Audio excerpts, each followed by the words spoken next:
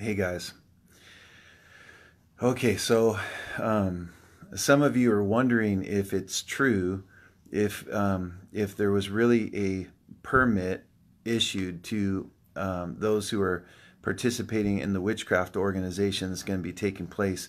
Uh, they're they're, they're going to be doing their all their their witchcraft and their junk at the state capitol today in Washington State. They've been permitted, they so they're legally there, uh, and they they're going to be um, bringing curses and all of that. So what we're going to do is we're going to pray against that. It's one.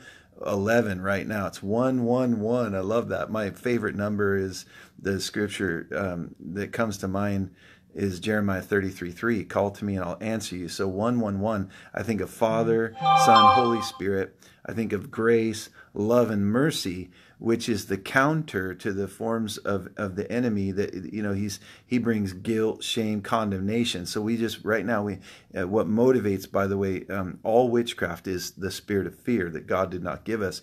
But yet, perfect love, God's love, agape love, casts out all fear. So the word says that perfect love, agape love, casts out, meaning deliverance, uh, the spirit of fear. So when the spirit of fear gets shut down, so does the impact of witchcraft. So don't be afraid, fear not, do not be afraid, uh, for the Lord is with you. And so let's pray together and let's believe God to uh, just to shut down, to null, nullify um, the the prayers of darkness and that he would shine his light, even blinding light, like on the road to Damascus, where Saul was killing the Christians. He was renamed Paul, so they weren't even the same person, same name. Uh, yeah, same person, but there was a transformation that occurred when he was able to see. And so, right now, God, all those who are uh, participating in witchcraft to curse uh, America. They're coming to curse uh, President Trump. We bind and break the power of darkness and every curse. Uh, be bound, be broken. Uh, every every assignment from darkness be broken. Be, and we ask for God the, the the dunamis power of God to come on. You said to bless those who curse, who curse. Uh, we bless them, God. And I pray in Jesus' name that you would touch every one of their hearts that comes against the agenda of the kingdom of the Almighty God, that you would touch their hearts. I pray for adoption on their souls, that you would awaken them to the truth of your power, and that you send messengers from heaven endued with power from on high uh, by the blood of Jesus. Right now, I release the blood of Jesus over our state capitol building, over the grounds. I release warrior angels sent from the throne of grace in the mighty name of Jesus to go and to begin to attack the strongholds and let every curse be turned uh, it, it turned uh, on its end and and all the effects of of uh, of the curse uh, will be broken I declare and decree by faith in Jesus name and I pray for healing to come miracles to break out prophetic words from your heart God to be spoken and that there be a reversal. Yeah, I, I issue a restraining order to the kingdom of darkness and I release the kingdom of heaven. Let the light of your countenance shine upon the faces of the saints that are heading over to the state capitol. And I thank you, Lord, for what you're about to do, God, that you're going to pour your spirit out on all flesh. Sons and daughters will prophesy, old men dream dreams, young men see visions. Oh, the Lord's about to do something powerful in Washington state when the enemy is losing ground, when the enemy is losing the battle, because you can't you can't lose a battle that's won, and by the blood of Jesus, the battle has already been won for the saints of God. And so all the enemy can try to do is create fear tactics and try to get people dismayed. Uh, but God wants to put the enemy on display on display. And so I just release the dunamis power of God over the state capitol building. We bless Washington. Hallelujah. Come on, everybody. Just know that your prayers matter. Uh, be praying, God, for guys, for the political leaders. Uh, we, we bless God, President Trump. We pray for protection. Every curse that tries to be formed against the President of the United States of America will be turned on end, and every curse will be shut down. And those who even curse will be liberated and transformed by the light of Jesus, and they will fall in love with the one who loves them, that that perfect love, agape love, will shut down the spirit of fear that is what drives witchcraft and control. And we declare witchcraft and control is broken right now in the name of Jesus. And we just release the blood of Jesus uh, uh, to cover over uh, the White House and over all the inhabitants and over the president and over uh, Melania and, and the and the family, God, and and and Barron and all the all the kids, Lord, for the Trump family and the Pence family and all those leaders, God that you put in place uh, in the White House, God, in the Senate, uh, the legislative team, uh, Lord. I, we just ask for blessing to, that people would uh, be able to receive from heaven. And when the enemy comes in like a flood, God, we know you raise a standard against him, and that standard is an increased anointing, and that anointing breaks the yoke which is the bondage to sin. Hallelujah. So we re- release the blood of Jesus. We, uh, we, we, we repent and confess any and all sin, known or unknown, through the blood of Christ on those on behalf of those who don't know to do so. And we say those curses will not stick. Uh, you know, the Bible says uh, you reap what you sow, or those who love cursing, sometimes they just receive it back unto themselves because they sow curses. But we bless them. He says, Bless those who curse you. So we bless them. And we say, This would be a great day for salvation in the witchcraft community. In the name of Jesus and the saints of God that are going there, may you do it with the power and the authority and, and the love and the blood of Jesus that washes away the damage of sin in Jesus' name. Hallelujah. Come on, everybody. So just know God's about to do something. Here's a quick story. One day I was, uh, I was over in the capital uh, city, and the Lord told me, I was with a friend, Michael and the Lord told me, He said, "I want you to go uh, to the Capitol building." So I went to the Capitol building. It was it was right around, uh, yeah, it was right around the time of Halloween. It was around uh, October a few years back, and the Lord says to me, uh, He says, "I want you to uh, to go to the Capitol. I want you to anoint it with oil, and I want you to walk around and anoint the places that I tell you and speak words uh, that I give you to speak." So I told my friend Michael, I said, "Hey man, we need to go to the state capitol." He's like, "Why?" And I said, "Well, I feel like God's saying we need to anoint it and we need to blessing and speak life over it." And he goes, okay, let's go. So we jumped in the car, went to the state capitol, and, and we blessed it. We're anointing with oil on the outside, and then we go to the doors and inside. And then uh, I noticed that there was a tour that was beginning, and the Lord said, I want you to go on this tour. So I, I went on the tour. You know how they show you around the state capitol, and you get to see some of the places, and they, they walk you through and show you the different places. And so I was on the tour, and uh, in in the uh, in the elevator, um, I, I, started feeling the the fire of God. I started feeling the fire of God. Well, the Lord told me that the woman who was leading the tour was was in witchcraft. That she was a practicing witch.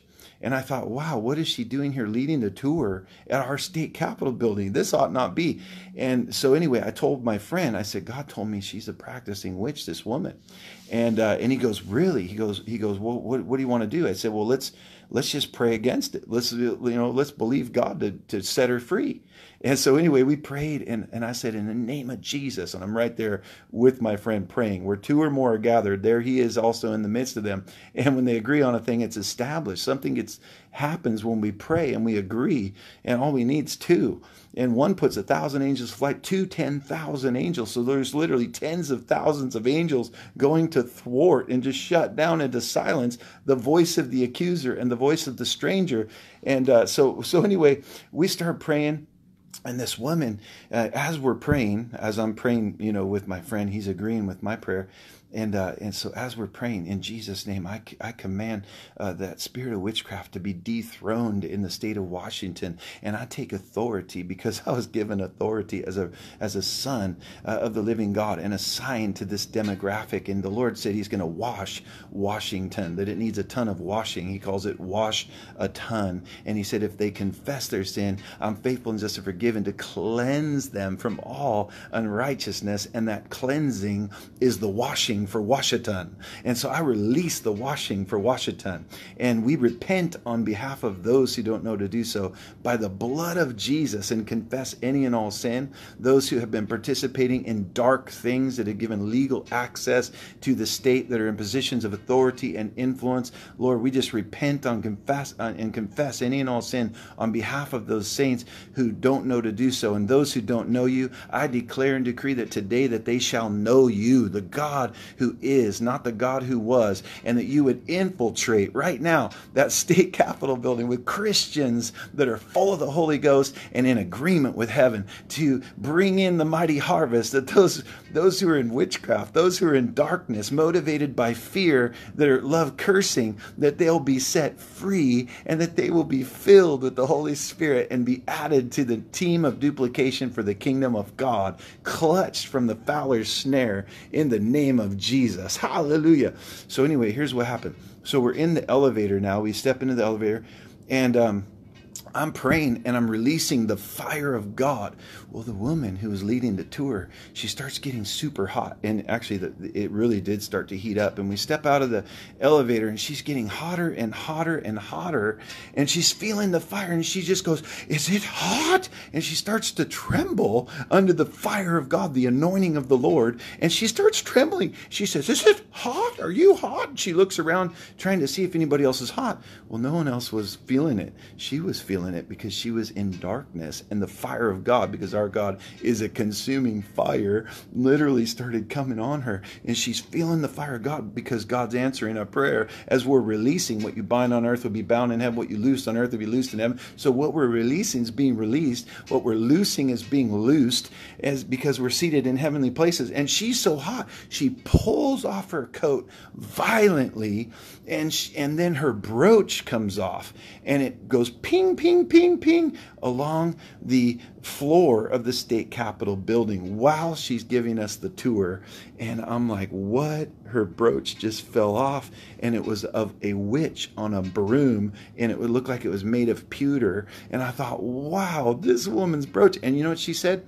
My witch, my witch fell down. And the Lord said, Lucifer has been dethroned in the state capital. The enemy is trying to gain back the ground that he lost, and it's not going to work. So I prophesy over the state of Washington that this is a day that marks the beginning of a revival that will sweep the nations of the living God, and that he will shake it with his power and his love, his dunamis, mighty power, and he will move mountains on behalf of the saints that walk in the favor and the flavor in agreement with the King, with no hidden sin, but on fire, contagious, outrageous lovers of God will bring about the changes back to Washington state that are needed uh, for the Lord to receive his maximum glory. This is the moment we've been waiting for. There's a turning of the tide. That woman immediately abandoned the tour and because she was so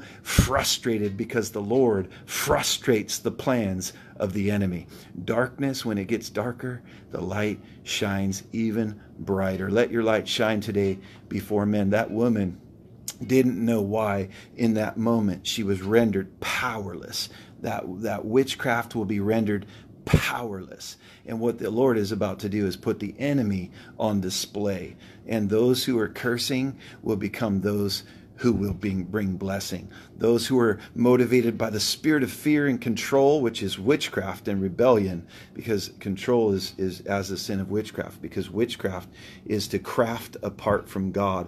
And we speak that they will craft, they will become crafters with God, that they will co create and be collaborators or co laborers in the kingdom of God. Those who love darkness are about to find the light, and they are going to be transformed by the blinding of the light of Jesus that will cause them to have a road to Damascus experience, much like Saul became Paul. Same man, different name, new creation. Old things pass away. Behold, all things become new. Share the post and pray because they're about to assemble here, I believe, in like one hour or so. So, but, but just start praying it up right now. And if you're in the area, guys, and you're full of the Spirit and you're right relationship with God, uh, go into that battle if the Lord sends you in. But don't go if you're not assigned to go. Uh, but ask the Lord if there's any error in you. Is there anything that is there any open sin in your life? Confess that, be cleansed, and then resist the devil, and he'll have to flee. And uh, the best way to do that is pursue the Lord, the King of Kings, and automatically you will be resisting the devil. So be blessed, you guys. Love you guys. I'll see you soon.